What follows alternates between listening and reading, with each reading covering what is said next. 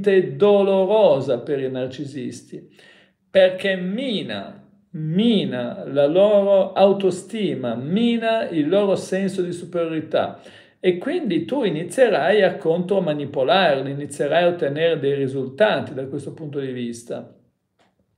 Li costringe a confrontarsi con la realtà che è la realtà che non sono perfetti e che ci sono altre persone al mondo che sono più capaci, più belle e questo salutiamo Roxy Rose, questo gli dà una botta, dà una botta forte al narcisista che inizierà a provare rabbia, potrà arrabbiarsi, risentirsi, tenderà a negare, negare. Salutiamo, ah sì, Manuel abbiamo già visto. Ah, Manuel, salutiamo anche Manuel. E tenderà in qualche modo a negare, tenderà in qualche modo a eh, diciamo, a destrutturarsi. Un narcisista nega la sua imperfezione e quindi questo, il non sei perfetto, eh, lo, lo manda in tilt. Inizialmente inizierà a dire come puoi dire che non sono perfetto? Sono il migliore, sono il migliore in quello che faccio. Non è vero che non sono perfetto. Sono tutte frasi che il narcisista utilizzerà e tu eh, te ne devi fottere, cioè anzi devi giocare. No, ma guarda che c'è quello che è più bravo di te, c'è quell'altro che è meglio di te.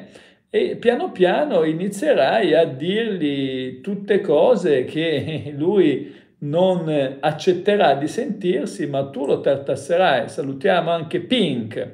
Tu lo tartasserai e gli romperai i coglioni. Tenderà a dire eh, non è vero che sono perfetto, sono perfetto in tutto quello che faccio e tu giù a dargli, dire no, guarda che hai, fatto, hai sbagliato questo, hai sbagliato quell'altro e in, tutto, in tutti questi modi riuscirai a governarlo, riuscirai a controllarlo. Poi c'è la seconda frase che ti suggerisco eh, di dire è non sei l'unico.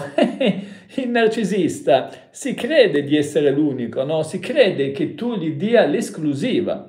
Invece in realtà tu gli devi dire guarda che io non ti do l'esclusiva, per me sei uno dei tanti, una delle tante, non ti darò mai e poi mai l'esclusiva. Questo manda abbastanza in tilt il narcisista che invece vuole, vuole in tutti i campi, diciamo, non soltanto quello sentimentale affettivo, ma i narcisisti spesso anche nel campo eh, dell'amicizia, anche nel campo di altre situazioni di altra natura e quindi il narcisista, eh, diciamo, eh, se tu gli dici non sei l'unico, eh, questo lo, eh, diciamo, quando vengono confrontati eh, quando vengono confrontati con la realtà, quando si confrontano con la realtà, eh, diciamo, eh, si sentono, come dire, desautorati del potere, perché il narcisista crede di essere l'unico per te, no? crede di avere l'esclusiva,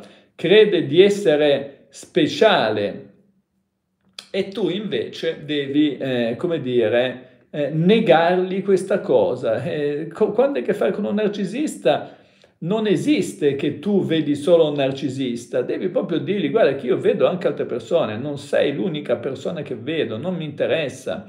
La frase non sei l'unico o non sei l'unica è una frase che il narcisista percepisce in modo particolarmente doloroso, perché questo mina la sua convinzione di essere unico, di essere speciale li costringe, diciamo, a confrontarsi con la realtà, che non sono unici, che tu vedi anche altre persone, che te ne fotti. Eh, ma è importante dire questo perché certo gli genererà rabbia, ma tu eh, andrai a, ad acquisire molto potenziale sul narcisista perché, eh, come dire, è una, è una, come dire, vai a minare no, la sua eh, la sua esigenza quindi non capirà più niente perché con i narcisisti che sono fortemente iperlogici dobbiamo andare a destrutturare proprio la parte logica e dirgli guarda che non sei l'unico, beh è un qualcosa che destruttura, quindi ti consiglio di dire, di usare questa frase. Un'altra